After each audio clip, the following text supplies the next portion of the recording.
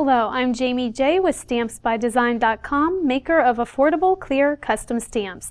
In this video, I will be demonstrating how you can make your own photo pop-up cards.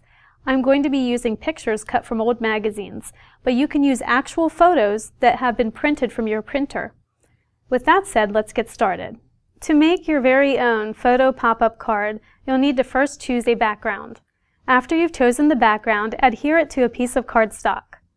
Then fold the card in half and cut two slits that are parallel and of equal length into the folded card.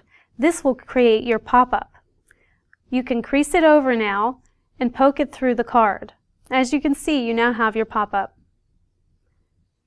Then you'll want to choose an image to use for on your pop-up. I've chosen a statue. After you cut your statue out, you can adhere it right to the pop-up slit. Then you can personalize your card by turning it over and stamping your initials or name on the back using a Stamps by Design stamp. This second card uses the same concept, but instead of one pop-up, we are going to do two pop-ups.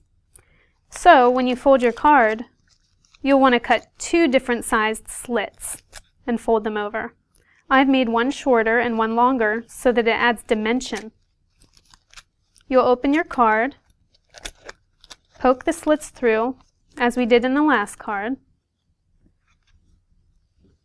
And then I'm going to adhere these before I adhere it to the main card.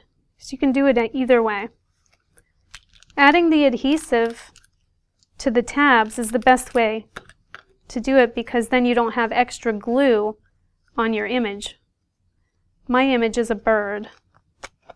So I'll place my first bird on the long tab and I'll place my second bird on the short tab.